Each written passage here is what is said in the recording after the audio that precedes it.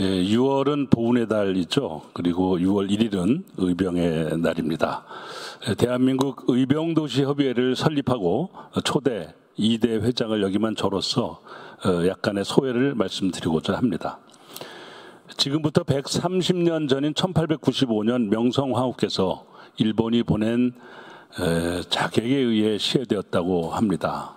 에, 그러자 어, 바로 어, 우리 제천에서 모여서 어, 자양영당에서 전국의 에, 많은 어, 백성들과 함께 의병을 어, 일으켰습니다.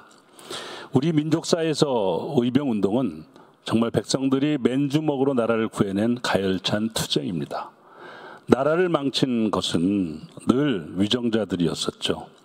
그 위정자들 대신에 백성들이 분연히 일어나서 꺼져가는 민족혼을 지켜낸 위대한 역사이기도 합니다.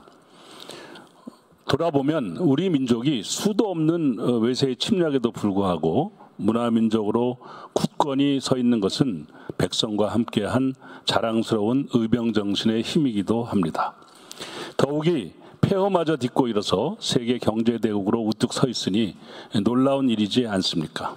불의에 굴하지 않는 정의롭고 선공 후사의 애국심이 바로 우리 민족의 가슴속에 그 근원에 달하고 있기 때문입니다.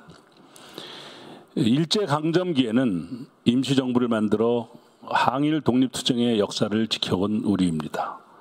6.25 전쟁 폐허를 딛고 한강의 기적을 만들어내며 세계를 놀라게 한 우리이기도 합니다. 4월 혁명으로 무너져 내리던 민주주의를 고추 세운 우리입니다.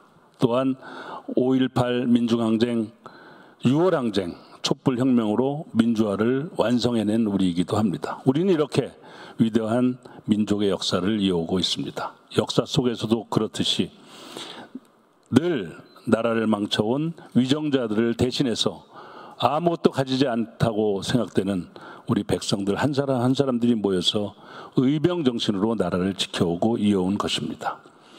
요즘도 여야를 막론하고 주권자인 우리 국민을 무시하고 민주주의의 근간인 법치주의를 농락하는 아주 못난 지도자들이 많이 있습니다. 참 한심하고 안타까운 일입니다.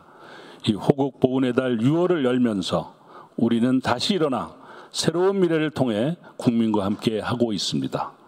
새로운 미래는 당원과 함께 국민과 함께 새로운 의병 운동을 펼치는 각오로 혼신을 다해야 되겠다라고 새삼 다짐해 봅니다. 감사합니다.